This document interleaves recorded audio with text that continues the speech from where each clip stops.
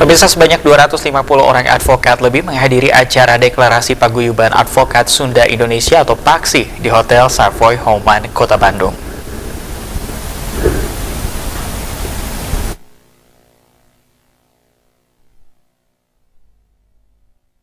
Kota Bandung merupakan salah satu sejarah dalam deklarasi Paksi Paguyuban Advokat Sunda Indonesia.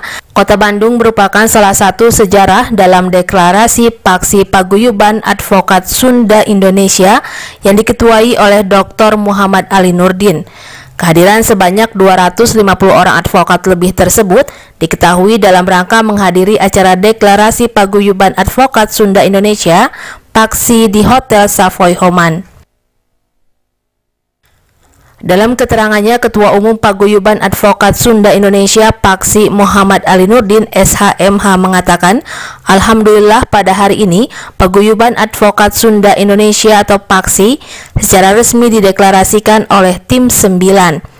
Paksi ini adalah milik kita bersama yang harus kita jaga, rawat, dan kembangkan sehingga keberadaan Paksi ke depan bisa memberi warna di dunia hukum Indonesia.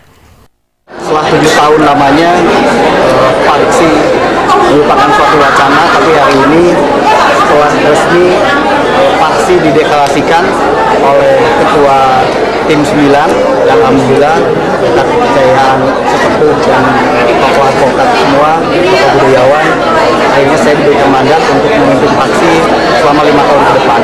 Mudah-mudahan Paksi ini menjadi suatu wadah untuk teman-teman advokat yang merasa dirinya sebagai orang Sunda. Di tempat yang sama, Wakil Ketua 3 DPRD Kota Bandung, Dr. Haji Edwin Senjaya SEMM mengatakan, orang Sunda merupakan bagian dari warga Jawa Barat. Dengan adanya pendeklarasian Paguyuban Advokat Sunda Indonesia Paksi ini, tentu saya merasa bangga. Insya Allah selama lima tahun. Saya kira tentunya tidak ada yang salah bila kita membentuk sebuah persatuan, kesatuan dan persaudaraan dengan latar belakang profesi, suku atau budaya dengan tujuan yang positif, yaitu memberikan kontribusi untuk bangsa dan negara.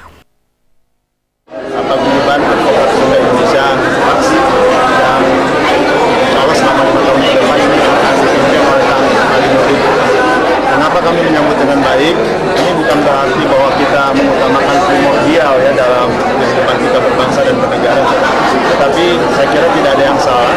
Bila kita membentuk satu persatuan, kesatuan, persaudaraan dengan latar belakang profesi maupun suku budaya yang sama. Dengan tujuan yang positif memberikan kontribusi tentunya yang uh, Paksi tidak membutuhkan masa yang besar.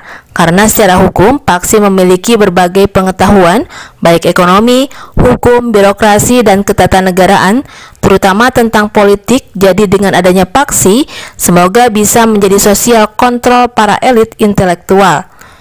Tim Liputan Bandung TV